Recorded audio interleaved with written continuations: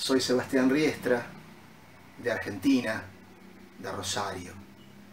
Y quería, de alguna manera, expresar mi amor por la poesía y la figura de la querida uruguaya Idea Vilariño. Acá la tengo conmigo, a su imagen, en un libro realmente maravilloso.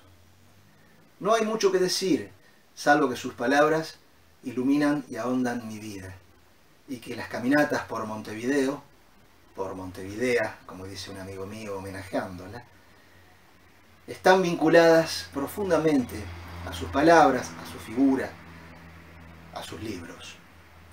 Idea, con su extrema sencillez, fue una de las más profundas poetas del amor en el siglo XX.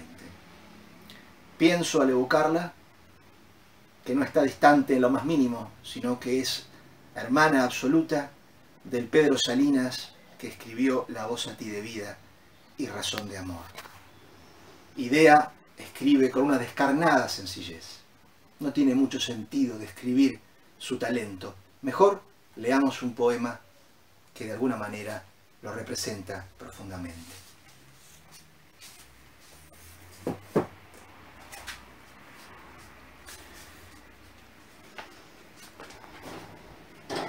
Amor, desde la sombra, desde el dolor, amor, te estoy llamando.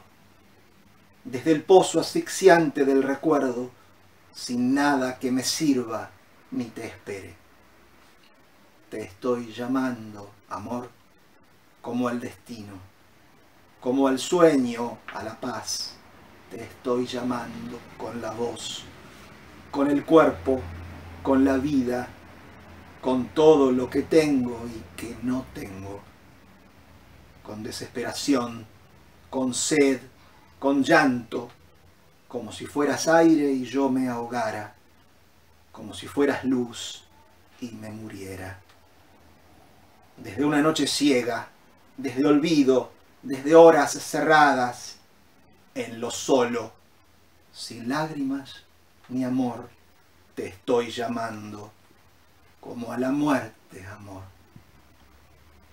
como a la muerte. Me piden además que comparta un texto mío y lo voy a hacer. Y voy a leer también un poema de amor, en homenaje al amor y en homenaje a Idea. Esto se llama lo importante. Puedo recordar a los árboles de nuestro amor. Plátanos, jacarandás, palos borrachos, ceibos, tipas y el último eucalipto del parque Urquiza. Pero no puedo recordar qué comiste la primera noche. Recuerdo que bebimos la marca de cigarrillos que fumabas, Philip Morris, pero no los zapatos que usaste o eran sandalias. Puedo recordar lo que me dolió, pero no lo importante. Si tenías o no aros, si alguna pulsera bailaba en tus muñecas, juraría que no. Si te habías maquillado, aunque sea suavemente, los ojos. Y sobre todo no consigo recordar de qué largo tenías las uñas, y eso me desespera porque amo tus manos más que nada.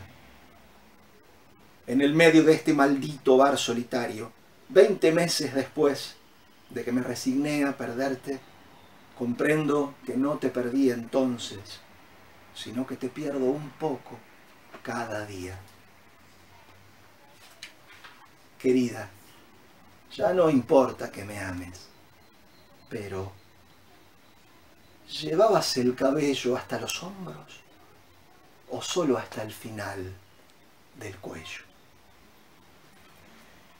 Gracias, que la poesía fluya, sigamos cuidándonos y que esa bandera flamee en nuestro cielo siempre.